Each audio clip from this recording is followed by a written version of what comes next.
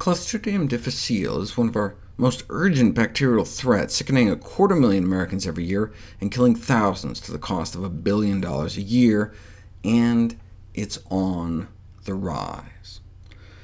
Although uncomplicated cases have been traditionally managed with powerful antibiotics, recent reports suggest that hypervirulent strains are increasingly resistant to medical management, so surgeons may need to come in and remove our colon entirely to save our lives. Although the surgery itself is so risky, the operation alone may kill us half the time. There's been a rise in the percentage of cases that end up under the knife, which could be a marker of the emergence of these hypervirulent strains. Historically, most cases appeared in hospitals, but a landmark study published in the New England Journal of Medicine found that only about a third of cases could be linked to a contact with an infected patient. Another potential source is our food supply. In the U.S., the frequency of contamination of retail chicken with C. diff has been documented to be up to 1 in 6 packages off store shelves, and it didn't seem to matter which parts.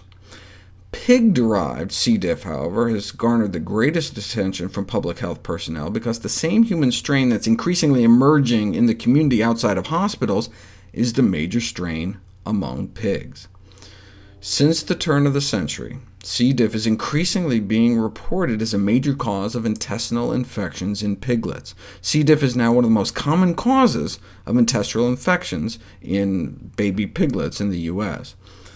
Particular attention has been paid to pigs because of high rates of C. diff shedding into their waste, which can lead to contamination of retail pork. In the U.S., has the highest levels of C. diff meat contamination so far tested anywhere in the world. Carcass contamination by gut contents at slaughter probably contributes most to the presence of C. diff in meat and meat products, but why is the situation so much worse in the United States? Well, slaughter techniques differ from country to country, with those in the U.S. being what they call more of a quick and dirty variety. Colonization or contamination of pigs by superbugs such as C. diff and MRSA MRSA at the farm production level may be more important, though, than at the slaughterhouse level. One of the reasons sows and their piglets may have such high rates of C. diff is because of cross-contamination of feces in the farrowing crate, which are these kind of metal cages that mother pigs are kept in. But can't you just follow food safety guidelines and cook the meat through? Unfortunately, current food safety guidelines are ineffective against this superbug because it forms these spores that are resistant to heat. To date, most food safety guidelines say cook at an internal temperature as low as 63 Celsius, which is the official USDA recommendation for pork. But recent studies show that these C. diff spores can survive extended heating at 71. Therefore, the guidelines should be raised to take this potentially killer infection into account. See, the problem is that sources of C. diff food contamination might include not only fecal contamination on the meat, but transfer of spores from the gut into the actual muscles of the animal inside the meat.